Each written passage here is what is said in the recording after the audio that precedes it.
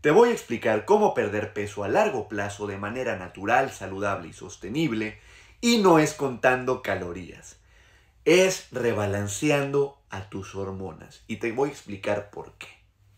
El peso de nuestro cuerpo está regulado, así como nuestra presión arterial está regulada, nuestra glucosa en sangre está regulada, nuestra temperatura corporal está regulada, nuestro sistema de defensas está regulado, nuestro peso corporal también está regulado. Cuando se desregula es cuando tenemos un problema, es cuando tenemos hipertensión, es cuando tenemos diabetes, es cuando podemos desarrollar cáncer, cuando enfermamos más fácil o es cuando ganamos peso. Todo eso es mediado por hormonas, no simplemente por la cantidad de calorías que consumimos. Por lo que es importante entender que la mayoría de las personas cuando comienzan a ganar peso, lo hacen porque tienen un desbalance hormonal que está haciendo que su cuerpo quiera destinar muchas calorías a la formación de grasa y no otros procesos beneficiosos porque las calorías que consumimos se pueden ir a la formación de nuevos tejidos como músculo, hueso, la reparación celular, la regulación de la temperatura corporal y en general un montón de funciones o simplemente se pueden ir cuando vamos al baño no necesariamente se tienen que ir a la formación de grasa. Cuando estamos saludables, igual una parte de esas calorías se van a ir a la formación de grasa porque es un mecanismo natural de nuestro cuerpo guardar algo de grasa por si no tenemos acceso al alimento en dado caso que ayunemos. Esto es un mecanismo evolutivo porque te recuerdo que nos desenvolvimos en un ambiente donde la comida era escasa durante miles de años y no teníamos acceso a la comida como la tenemos hoy en día. Pero en general, el punto es que las hormonas son quienes controlan cómo se van a utilizar las calorías que tú consumes. Y ese es el llamado metabolismo.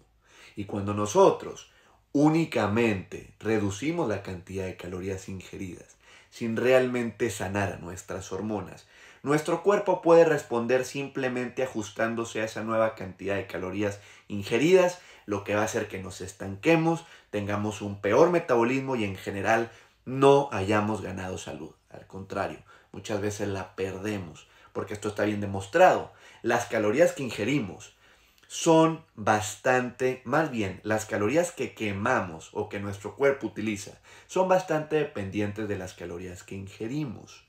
Esto está comprobado en múltiples estudios. Y otro gran sesgo que el conteo de calorías tiene es creer que el metabolismo basal, es decir, la cantidad de calorías que quemamos, es estable. No es estable, es bastante, bastante movible por un montón de factores. Desde si dormimos mal, si tenemos una mala hidratación, si tenemos mucho estrés. Saluden a Kira, mi perrita que acaba de entrar aquí a la oficina.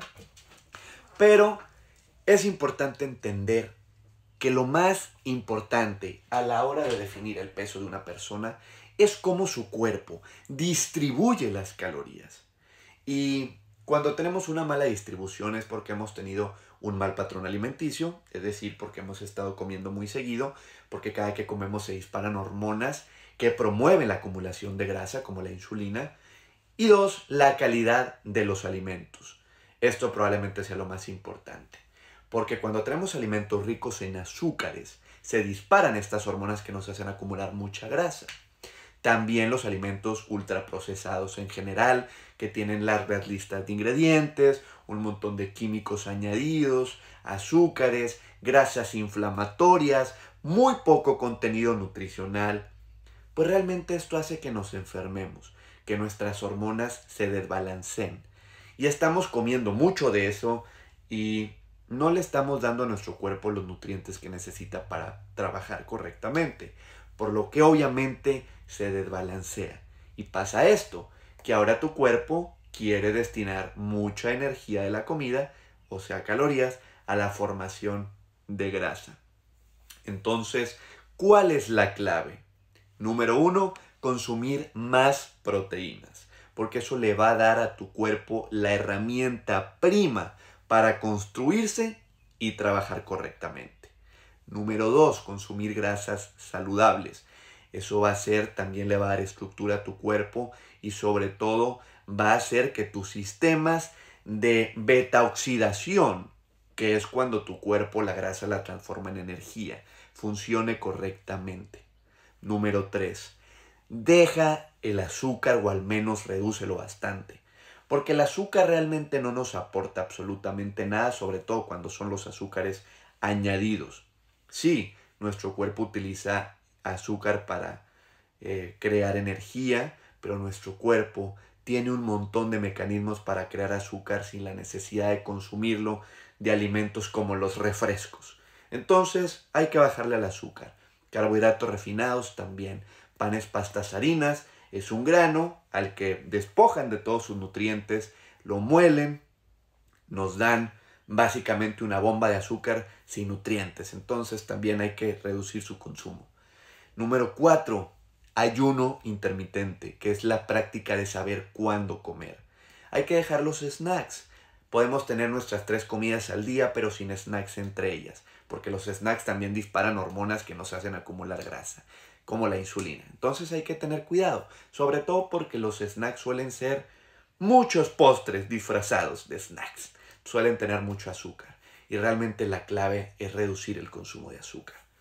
Eh, y lo último, dormir bien, aprender a manejar el estrés, porque el cortisol, que es la hormona del estrés, también hace, bueno, sobre todo en exceso. El cortisol es ahí algo paradójico porque cuando el cortisol se libera en pequeñas cantidades, nos puede ayudar a quemar grasa, pero cuando está elevado de manera prolongada, hace que nuestro cuerpo quiera acumular mucha, mucha grasa. Entonces hay que tener cuidado con eso. Y ejercicio.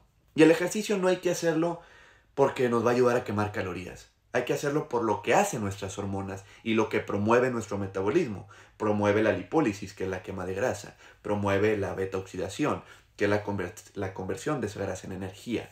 Eh, promueve también, libera eh, hormonas, neurotransmisores que nos hacen sentir increíbles. Entonces, quieres hacer mucho ejercicio, pero no simplemente por las calorías. Y para terminar este video, las calorías definitivamente tienen su rol, pero no son lo más importante. Las calorías influyen a corto plazo, pero a largo plazo no tanto como nos han hecho creer. Porque una caloría es una unidad de energía que se obtiene calentando un alimento en una maquinita y midiendo el calor liberado.